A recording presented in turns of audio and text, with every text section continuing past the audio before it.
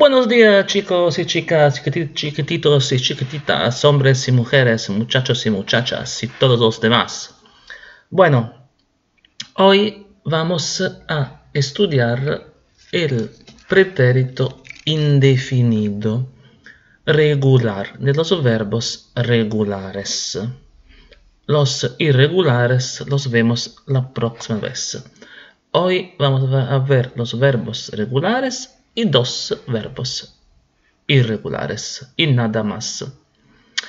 Bueno, empezamos.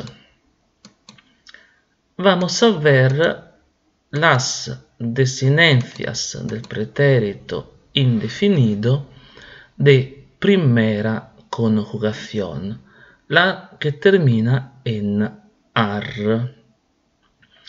Vamos a ver.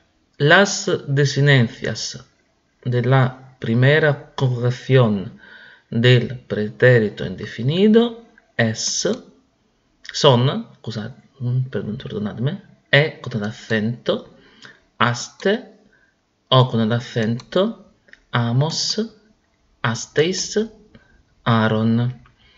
Por ejemplo, si el verbo es hablar, quitamos la desinencia aquí en amarillo, ar, y ponemos habl, que es hablé, hablaste, habló.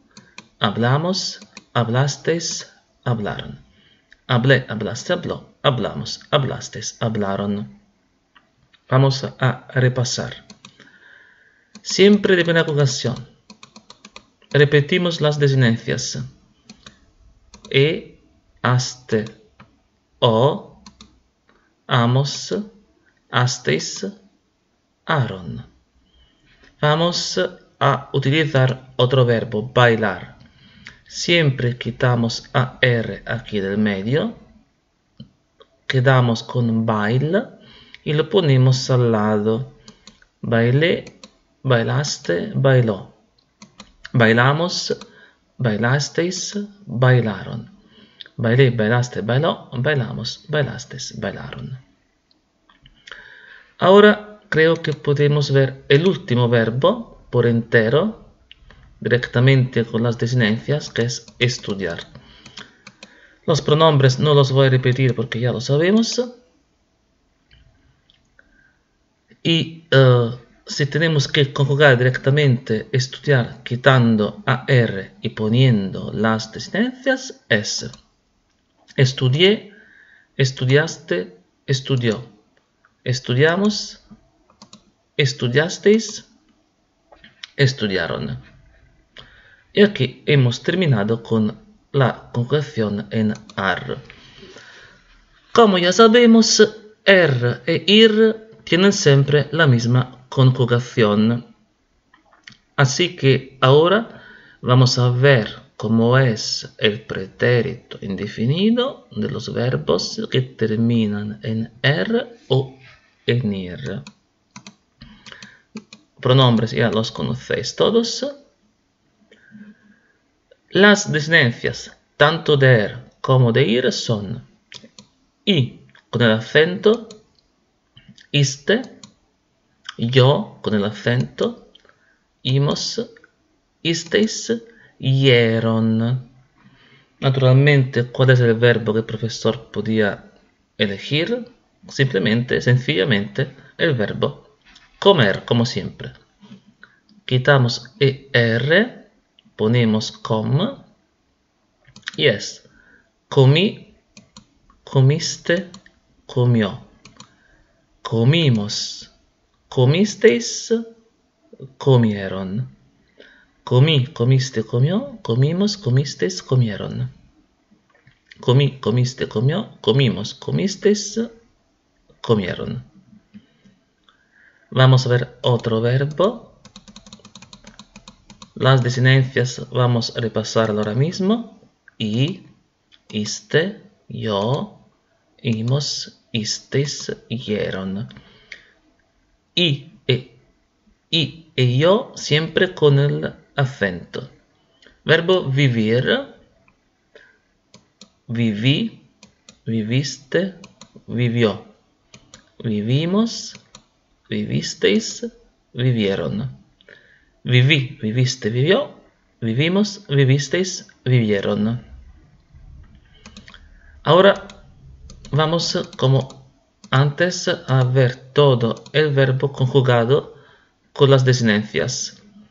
Si yo voy a quitar ir aquí y me quedo con scrib y pongo al lado de scrib, pongo las desinencias, será escribí, escribiste, escribió, escribimos, escribisteis, escribieron. Escribí, escribiste, escribió, escribimos, escribisteis, escribieron. Bueno, esas son las, las reglas para formar el pretérito indefinido. Pero, ah, perdonadme, mm, hay dos verbos, ser e ir, que son totalmente, totalmente irregulares y tienen el mismo, una sola i, no con dos i, pretérito indefinido. Y ser significa essere, ir significa andare, y los dos tienen el mismo pretérito indefinido. Y eso. Fui, fuiste, fue. Fuimos, fuisteis, fueron. Yo fui, tú fuiste, fue. Nosotros fuimos, vosotros fuisteis, ellos fueron. ¿Cómo podemos saber si este es el indefinido de ser o de ir durante en, una frase? Lo podemos saber porque lo vamos a deducir del contexto de la frase. Hago un ejemplo en italiano. Ayer fui al cine, ieri sono andato al cinema, indefinido de ir. Ayer fue un día maravilloso, Ieri è stato un giorno stupendo, meraviglioso, indefinito del verbo ser. Pero, a qué corresponde?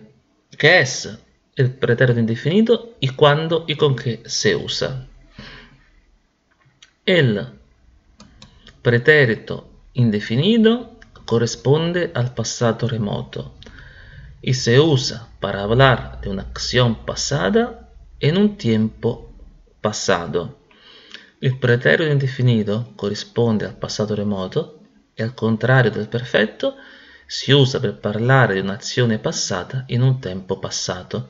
Vi ricordate che il perfetto invece era in un tempo non passato. También aquí tenemos los marcadores temporales. Se usa con marcadores temporales, referencias temporales como anoche, anoche vuol dire ieri notte, non vuol dire stanotte. Ayer, anteayer, pasado, pasada, el otro día, ese, aquel día, etc., etc. Se usa también cuando hay una fecha precisa o cuando no hay nada, pero nos referimos a una fecha precisa. Por ejemplo, en 1492 Colón descubrió el América. La América, perdón, descubrió la América. Eso porque sabemos que es 1492. Pero si pregunto a una persona cuándo se nato, yo digo cuando naciste, no digo cuándo has nacido, cuando naciste.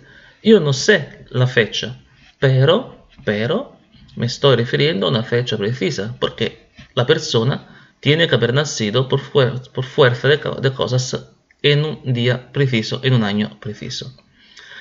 Bueno chicos, la clase ha terminado, os espero que os haya gustado y nos vemos la próxima vez. Adiós a todos.